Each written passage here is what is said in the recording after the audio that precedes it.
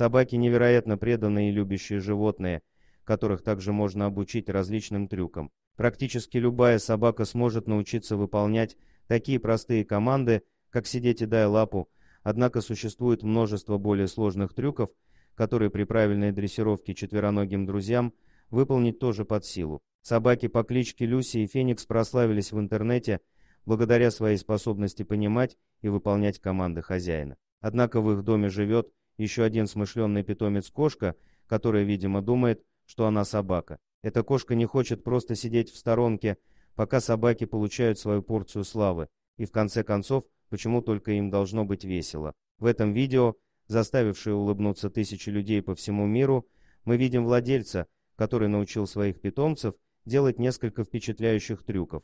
Хотя мы привыкли думать, что собаки единственные обладатели такого таланта, оказывается, что живущая с ними кошка по кличке Диджа, по крайней мере, тоже имеет некие способности. Обещаю, эта милая троица вам непременно понравится. Они вместе сидят в гостиной, внимательно слушая стоящего перед ними хозяина.